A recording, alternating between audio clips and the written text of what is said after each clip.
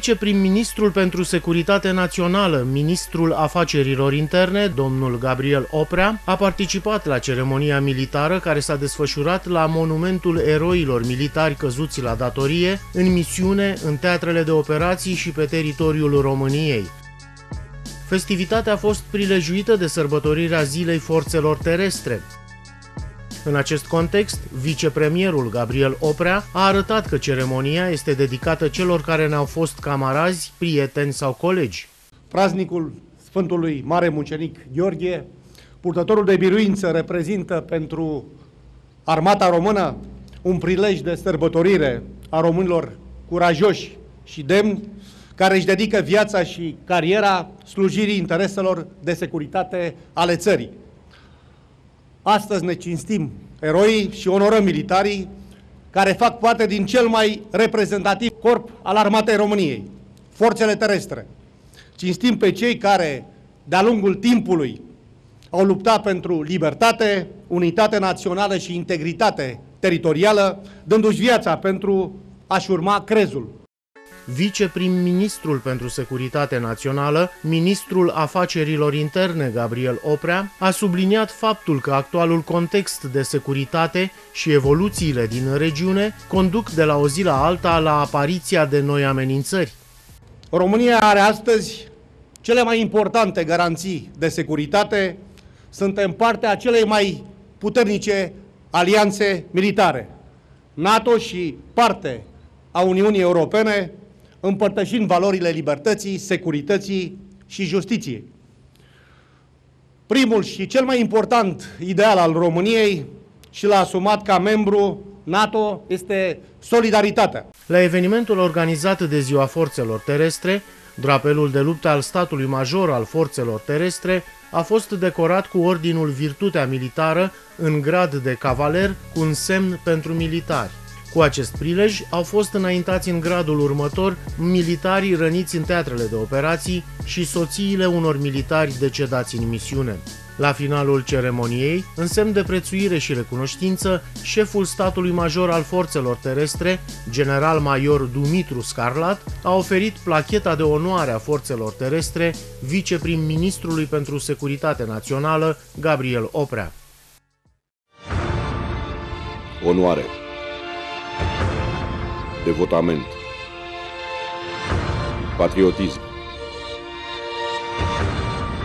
loialitate, demnitate, curaj, respect. 7 zile din 7, 24 din 24, la datorie, în slujba cetățenilor.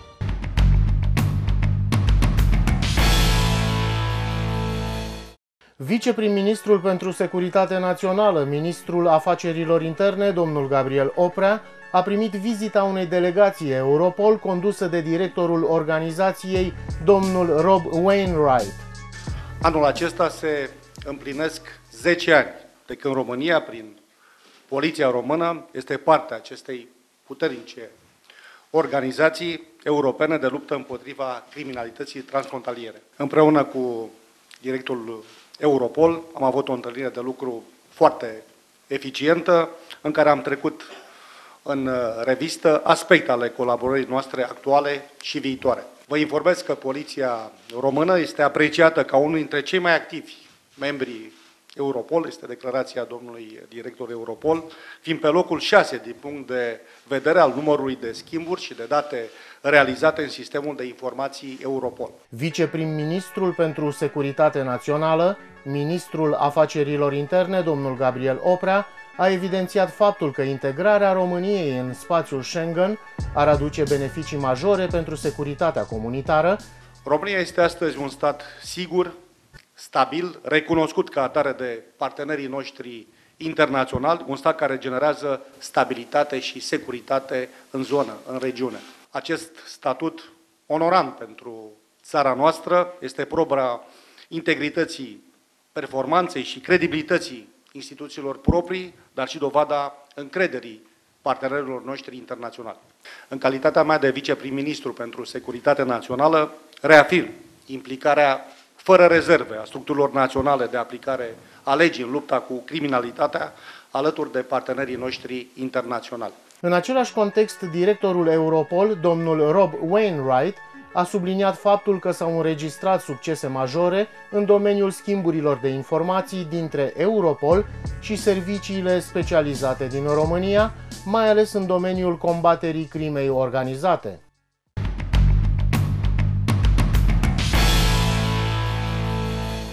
Bine v-am găsit, doamnelor, domnișoarelor și domnilor, sunt Eduard Ionescu. Astăzi vă propunem un subiect interesant. Suntem în vizită la sediul Poliției Române. Vorbim despre unitatea de elită a Poliției Române, despre Direcția de Combatere a Criminalității Organizate. Gazda noastră este cel care coordonează această structură. Este vorba de domnul comisar șef Claudiu Cucu. Domnule comisar șef, vă mulțumesc că ați acceptat invitația la emisiunea noastră. Mulțumesc frumos că ați venit la ea sediul nostru.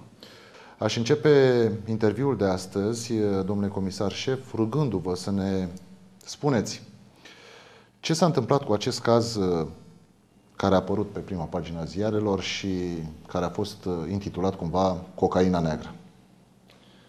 Acest caz a fost mediatizat probabil exact pentru ineditul modalității de ascundere a drogului, de disimulare a drogului, și anume au transformat cocaina destinată consumului într-o substanță nedetectabilă atât de câini, de aparatele, scanerele, de uh, testele uzuale care le, fac, uh, le facem noi polițiștii în momentul descoperirii. Concret, această substanță nu ar fi putut fi descoperită la testele uzuale, decât numai în condiții de laborator. Domnule comisar șef, din câte ne-am dat seama, această cocaină neagră, cum mi-a spus dumneavoastră, ofițerii, de, ofițerii antidrog, S-a plimbat prin foarte multe țări. Din America de Sud, containerizat în Germania, după aceea a, trans, a traversat Bosforul, Dardanelele și a ajuns în Marea Neagră, la Constanța. Din Hamburg, împreună cu colegii uh, germani de la Vama Germană, am reușit să facem o livrare supravegheată pe mobilierul care conținea cocaină, restul de mobilier care era doar uh, pentru a ascunde, uzual noi îl folosim, marfa capac, uh, a venit în continuare, normal, pe, pe cale maritimă, containerizat până la Constanța. Mobilierul propriu-zis a fost adus cu avionul din Hamburg până în București. După aceea le-am pus împreună. Am făcut toată această procedură ca suspecții să nu vadă, să nu se sizeze faptul că acest container a fost controlat, să nu se zizeze că poliția este pe urmele lor. Și s-a luat hotărârea ca aceștia să fie reținuți în România, marfa să fie uh, aici confiscată. Da, tot acest procedeu de livrare supravegheată s-a făcut tocmai pentru a aproba activitatea lor infracțională. Am avut nevoie de timp și de probe pentru a aresta. Trei, uh, trei persoane, trei suspecți sunt în momentul de față în arest arestați preventiv. Pentru toți acești trei suspecți, cred că a fost pus în uh, practică un întreg angrenaj, spuneați dumneavoastră, de polițiștii germani, polițiștii români, pe semne că ați lucrat și cu, cu alte țări în, uh, polițiști, în acest caz. Vame și germani, polițiștii spanioli, polițiștii români și, nu în cele din urmă, NCA, National Crime Agency din Marea Britanie. Ca și cantitate, această cocaină neagră nu este cea mai mare cantitate descoperită și confiscată pe teritoriul României. Știu că ați mai avut un caz acum câțiva ani, însă ineditul ar fi dat de substanța propriu-zisă și de modul de ascundere. De modul de disimulare. Asta a fost ineditul situației. Capturi în România au fost uh, mult mai multe. Au fost 1200 uh, de kilograme în 2009, 200, 300, au fost foarte multe capturi. Niciodată, și vreau să specific chestia asta, niciodată aceste capturi, aceste, aceste transporturi nu au fost destinate pieței românești. De fiecare dată România era țară de tranzit. Vorbesc atât de capturile de cocaină, cât și capturile de heroină. De asemenea și capturile de ecstasy, care au depășit 1000-2000 de pastile, au fost destinate altor piețe și nu cele românești.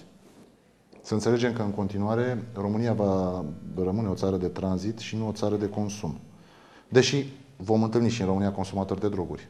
Avem și în România consumatori de droguri, avem o piață a heroinei, avem o piață, chiar și o piață a cocainei, avem o piață a drogurilor sintetice, targetul, în general, sunt tineretul și adolescenții, dar nu este foarte, foarte dezvoltată. Deci nu putem să vorbim de un consum de droguri în România comparativ cu vestul Europei. Nu. Domnule comisar șef, este uh, și meritul acestei structuri de combatere a criminalității organizate? Concret, este, e și meritul nostru. Pe de, altfel, de altfel, pedepsele pentru traficul de droguri în România sunt destul de mari, comparativ cu restul Europei, dar și tenacitatea și inventivitatea polițistului român, și să nu uit, niciodată n-aș vrea să uit și pe procurorii cu care lucrăm, procurorii DICOT, sunt foarte mari. Este și meritul nostru, al nostru și al procurorilor. Spuneam că vorbim de o unitate de elită uh, a poliției române, o unitate care este recunoscută și peste granițe. Uh, faptul că s-a luat hotărârea ca acest uh, transport să fie supravegheat și până la urmă să se intervină pe teritoriul României, iată, a fost această încredere în polițiștii români de combaterea criminalității organizate. Dar mai am un, un lucru care vreau să-l aduc în discuție și care ne dă nouă dovadă a faptului că efectiv aici este vorba de o unitate de elită. Recent ați primit uh, un premiu. Direcția de combatere a criminalității organizate a primit un premiu. Și v-aș ruga să ne spuneți despre ce premiu este vorba. Da, Centrul SECI, care cu sediul la București, în fiecare an, de două ori pe an, de fapt, premiază cele mai bune cazuri în care se cooperează regional. A fost un caz în cooperare cu colegii bulgari, în care au fost divers supravegheate, o captură totală de uh, 55 de kilograme de cocaină și cu 3-4 arestați. Atât în România cât și în Bulgaria. De asemenea, confiscări de mașini, de bunuri, case și așa mai departe. A fost uh, cel mai bun caz premiat pe cooperare regională. Vorbesc aici de sud-estul Europei. Recent, uh, în România s-a aflat în vizită și directorul FBI, care a venit în vizită și la Poliția Română și a venit inclusiv la această direcție de combatere a criminalității organizate. Așa este, am avut uh, onoarea să, să ne întâlnim cu dumnealui, chiar în uh, clădirea aceasta. Înseamnă, pe de altă parte, o recunoaștere a meritelor Poliției Române, înseamnă o pecetuire a relațiilor dintre noi și structura pe care dumneavoastră o reprezintă. Domnule director, lucrați în uh, crima organizată, cum se spune, de foarte mult timp. Cât de greu este să pui pe picioare o astfel de structură și vorbim uh, de un interval de timp, uh, iată, de vreo 20 ceva de ani de la momentul Revoluției Române, să pui pe picioare o astfel de structură care să funcționeze și care să fie apreciată foarte mult, atât în Uniunea Europeană, cât și în Statele Unite ale Americii. Cooperăm nu numai cu Uniunea Europeană, cooperăm și cu Statele Unite ale Americii, cooperăm cu Australia, cooperăm cu zona asiatică, cu Japonia, cu China, chiar și cu China am avut cooperare. Am avut cooperare și în uh, zona Middle Eastului. Am avut diverse supravegheți, am avut uh, cooperări cu Iordania, cu Arabia Saudită, zona Golfului. Deci nu vorbesc numai de anumite părți ale globului, peste tot. Revenind la întrebare, Structura de combatere a criminalității organizate s-a dezvoltat toată cu dezvoltarea fenomenului infracțional. Dacă acum 25 de ani puteam să spunem că în România nici nu existau nici dealer, nici consumatori de droguri, nu avem aceeași situație în momentul de față. La fel, fenomenul traficului de persoane, pe vremea aceea, era aproape necunoscut. Aș vrea, domnule director, să le spunem celor care ne privesc că structura pe care o reprezentați nu se ocupă numai cu traficul de droguri, avem și trafic de persoane, avem criminalitate informatică, avem structură de uh, combatere a finanțării terorismului și spălării banilor. Deci, iată, vorbim despre o, o unitate a Poliției Române care este bine așezată și foarte bine uh, orientată către ceea ce înseamnă nerespectarea legii. Nerespectarea legii și infracțiuni grave, infracțiuni de crimă organizată. Așa este. Avem structura de trafic de persoane care se ocupă odată de trafic de persoane și odată de migrație ilegală, combaterea migrației ilegale. După cum bine știți, în contextul geopolitic actual, România se află la confluența dintre Orient și Occident. După prima, după primăvara arabă din, din Siria, vedem foarte bine ce se întâmplă. În fiecare zi suntem, granița României este forțată de rețele de migranți. Gândiți-vă că numai Turcia, în momentul de față, reclamă un milion, peste un milion, aproape între un milion 500 și 2 milioane de migranți sirieni. Sunt taberele aflate în uh, sudul Turciei, la granița cu Siria, care, oameni care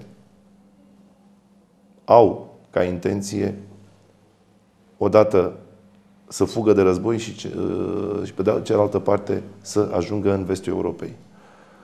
De asemenea, nici colegii bulgari nu stau mai bine. De asemenea, în Grecia reclamă la fel câteva sute de mii de migranți. Italia, a văzut ce s-a întâmplat în ultima perioadă. Cu aceeași problematică se confruntă și România. Avem norocul că avem o frontieră securizată în principiu, avem norocul cu Dunărea, dar asta nu înseamnă că nu suntem expuși. Asta nu înseamnă că nu avem cazuri de migrație ilegală, înseamnă, înseamnă că, avem, că nu avem rețele de migrație ilegală. Ce ne puteți spune despre criminalitatea informatică? Aici românul...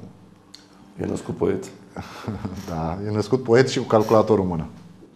Da, putem să spunem că avem una dintre cele mai bune structuri de combatere a criminalității informatice, altfel fapt recunoscut și la nivelul uh, Uniunii Europene. Gândiți-vă că un coleg de-al nostru coordonează prioritatea în cadrul Europolului pe criminalitate organizată.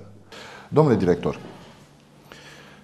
ce trebuie să aibă un ofițer de crimă organizată pentru ca să lucreze într-una din aceste structuri pe care le-am enumerat aici împreună cu dumneavoastră și în același timp să aibă și rezultate. Un ofițer de crimă organizată trebuie să fie dedicat, să cunoască foarte bine legea, să aibă o familie înțelegătoare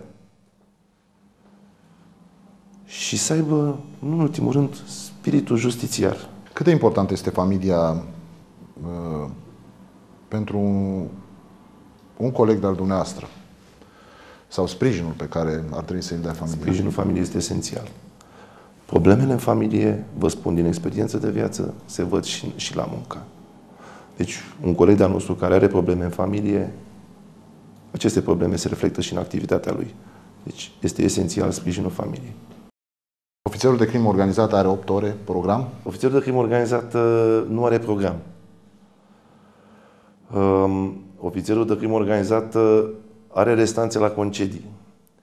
Ofițerul de crimă organizată lucrează foarte mult din pasiune, am mai spus-o. Trebuie să fie dedicat și pasionat de ceea ce face. Este unitatea care este cea mai descăutată din uh, ceea ce are poliția română în uh, Pot să spun că este unitatea cel mai descăutată în cooperarea internațională. Îmi place să spun că este cea mai deschisă unitate la cooperarea internațională din cadrul, din cadrul Poliției Române. Domnule comisar șef, eu vă mulțumesc pentru interviul pe care ni l-ați acordat, în speranța că toți cei care se gândesc să nu respecte legea în România și în special pe spețele acestea pe care dumneavoastră Uh, acționați uh, se gândesc de două ori înainte de a face pasul către nerespectarea legii. Uh, eu vă doresc mult succes și să sperăm că vom auzi și de alte cazuri rezolvate de colegii dumneavoastră, în așa fel încât să ne simțim în siguranță. Doamnelor, domnișoarelor și domnilor, vă spunem la revedere pe săptămâna viitoare.